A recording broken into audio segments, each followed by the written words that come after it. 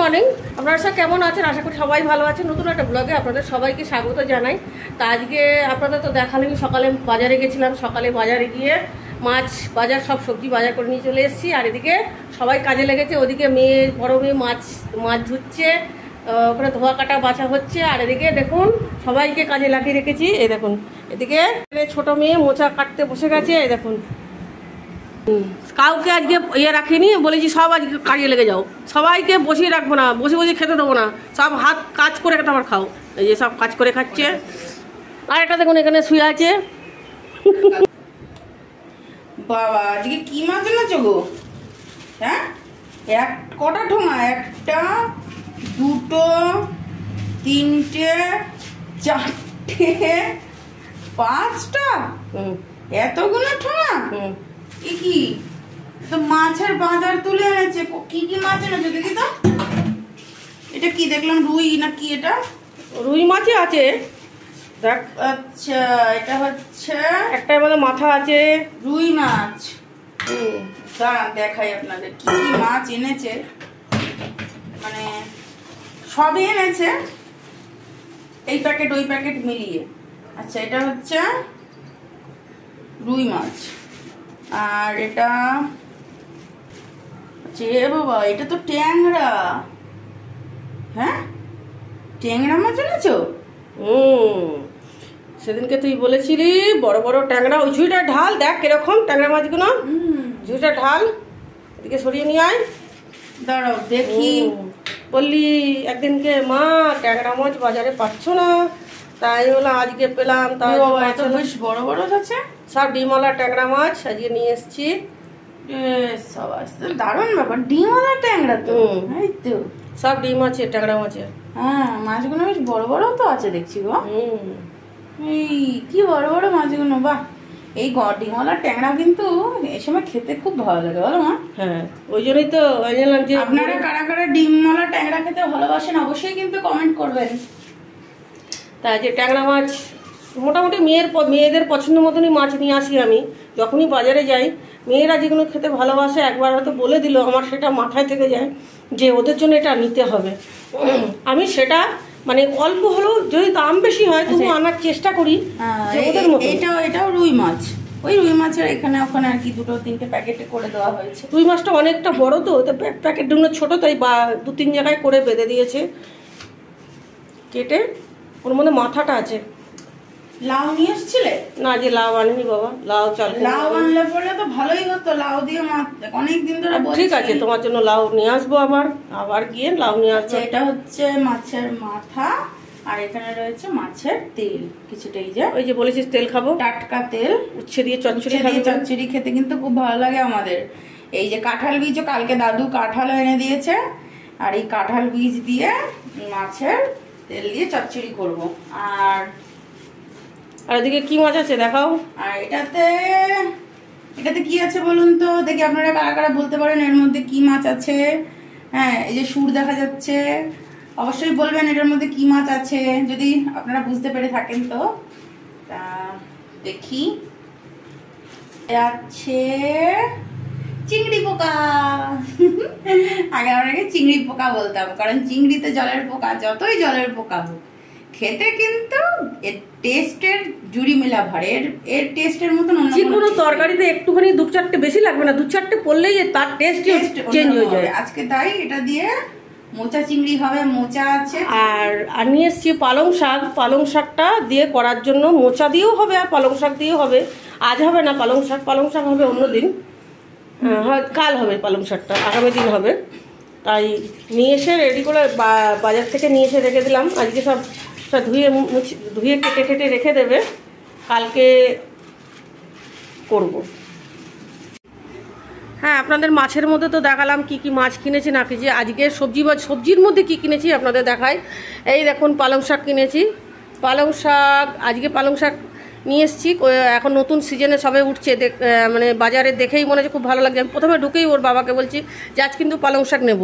তার জন্য পালং শাক নিয়ে চলে এলাম। আর এদিকে হচ্ছে আলু মূলো নিয়ে এসেছি। কারণ আমি যার যার তরকারিতে যেটা দিতে হয়, তাই নিয়ে এসেছি মূলো আর এদিকে শাক আর মূলো সিম টিম কিছু পাইনি। আর এদিকে নিলে নিয়ে এসেছি মানে উচ্ছে, ঝিঙে, লঙ্কা আর গাটি কচু, আর কিছু এই হচ্ছে সবজি, আর কিছু সবজি আনিনি, আজকে যা সবজির দাম দাম দেখে হয়ে গেছে, মাথা খারাপ, তাই আমি বলছি যা নিচে নিচে এবার চলো বাড়ি যাই।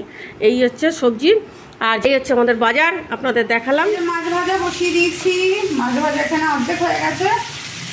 অর্ধেক নাবিয়ে দিয়েছি, আর এখানে এখন তৃতীয়বার মানে থার্ড বারের মাছ ভাজা চলছে এখনও আছে এখানে অনেকগুলো।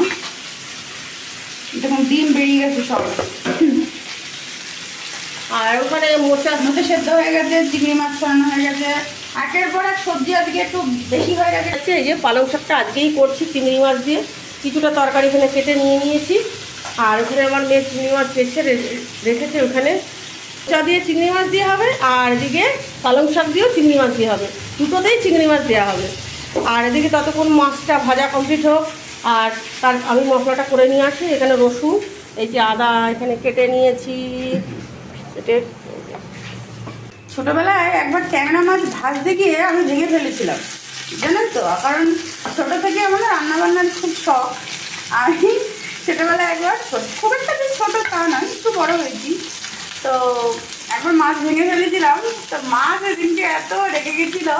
মা বলছে, বাবা, বড় বড় ট্যাংরা মাছগুলো ভেঙে ফেললি? হ্যাঁ সেই থেকে এখন শিক্ষা হয়েছে। সে ভাঙা ট্যাংরা মাছগুলোই খেতে হচ্ছে। সেই থেকে শিক্ষা হয়েছে। এখন মাছ ভাজতে গেলে অনেক রকম, অনেক কিছু করে তারপরে মাছ ভাজি যাতে ভেঙে না থাকে। মনের মধ্যে এটা টুকটুক করে যে ভেঙে গেলেই বোধহয় আবার বকা খাব। তাই যখন মাছ ভাজা হচ্ছে এক এক করে। মাছ সম্পূর্ণ ভেজে আমি মশলা কষিয়ে মাছের জন্য গ্রেভি তৈরি করে নিয়েছি। তেলের মধ্যে দিয়েছিলাম হচ্ছে পেঁয়াজ বাটা, টমেটো, তারপর পেঁয়াজটা একটু ভাজা হয়ে গেলে দিয়েছিলাম টমেটো কুচি, টমেটো দিয়ে নুন, হলুদ, আদা, রসুন পেস্ট, জিরে গুঁড়ো আর লঙ্কা গুঁড়ো দিয়ে ভালো করে ভেজে তার সঙ্গে দুটো চেরা কাঁচা লঙ্কাও দিয়েছি। যে যেরকম খাবে ঝাল সেরকম বুঝে খাবে। এমনি গুঁড়ো লঙ্কাও দিয়েছি, কাঁচা লঙ্কাও দিলাম, দুটোই দিলাম, একটু কাঁচা লঙ্কাটা দিলাম মোস্টলি ফ্লেভারের জন্য। দিয়ে এবার গ্রেভিটা একটু হালকা ফুটে আসলে তারপরে আমি মাছগুলো দিয়ে দেবো। আর এইদিকে তো শাকটা ধোয়া হয়ে গেছে, ধুয়ে নিয়েছি, আর এদিকে ভাত চাপিয়ে দিয়েছি। মা কি করছে দেখি, মাকে বললাম ধনে পাতা কাটছে, কাটতে। মা ধনে পাতা কাটছো কাটবো কাটবো। এই যে নিয়ে হ্যাঁ। কাল আবার মূলো শাক হবে। মূলো শাক ভাজা হবে। ঠিক আছে সব কটা দিয়ে দেবে হ্যাঁ? ধনে পাতা রাখার দরকার নেই অনেক দিন হয়ে গেছে। এখন কচু কাটা চলছে শাকের জন্য। কচু মূলো আর আলু দেবো। হ্যাঁ। বেগুন আনিনি বেগুন খাব না বেগুনের প্রচুর দাম। সেই বেগুন আনতে বলছি কতদিন ধরে বেগুন আর বাড়িতে আসছে না। আমাদের চিনি পোকা ঘুমাচ্ছে যেমন চিনি পোকা, আমার চিনি পোকা ঘুমাচ্ছে, ওই জুটু পড়েছে ওই জি ওই জি শোনো বাবা, তুমি ঘুম করছ? তুমি ঘুম করছ? ওনি বাবুলি ওলে বাবুলি ওলে বাবুলি আমার ছোনা বাচ্চা ছোনা বাচ্চা। সোনা বাবা ঘুমাচ্ছে। তুমি ঘুম করছ? তোমাকে সবাই দেখছ তো বাবা? তুমি তো হাই হ্যালো করে দাও সবাইকে। তোমরা কেমন আছো? তোমরা কেমন আছো? হুম, আমি তো ভালো আছি। আমি তো ঘুমু করছি। আমি তো ঘুমু করছি। এরপর আমি ভাতু খাব। আমি ভাতু খাব তো। আমি খুব আদুরে, আমি আদুর খাই। আমি সারাদিন আদুর খাই। আমাকে সবাই ভালোবাসে।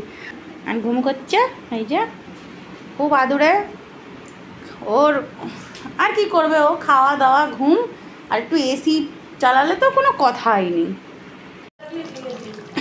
মাছের তরকারিটা প্রায় হয়ে এসছে, তাই জন্য দেখুন আমি ধনে পাতাটা দিয়ে দিয়েছি।